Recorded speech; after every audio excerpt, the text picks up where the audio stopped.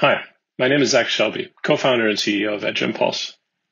I'm super happy to be receiving this award for Best Product of the Year from the Embedded Vision Summit.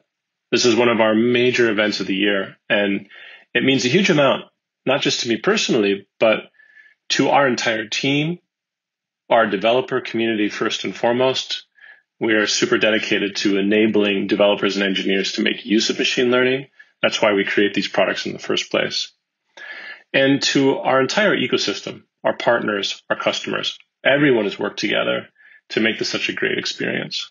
What we do at Edge Impulse is take this huge stack of machine learning technology that we develop for typically data scientists and ML researchers, and we make it available for developers end to end. I'll show you a simple diagram here of how this works, the ML lifecycle from sensor to deployment. Our tools are provided in the cloud. They're free to get started with. They're free for production use for small companies and for your first algorithms. You can just go to edgeimpulse.com, sign up for your account, and get started right away with ML development. It starts at the device. We help people collect sensor data directly from their device, both microcontrollers and embedded Linux. Move that sensor data securely into the dataset you want to work with.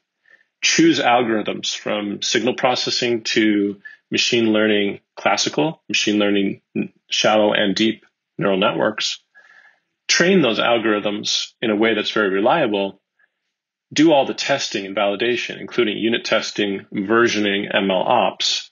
And then finally, we enable people to deploy a highly optimized algorithm right down to the embedded device. And we cover a huge range of silicon, over a dozen silicon partners um, in the industry.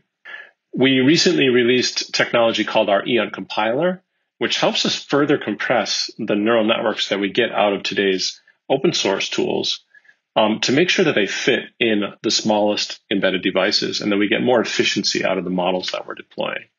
And this combined with our cloud based user experience is a really great way for people to get to market with real machine learning algorithms in real products.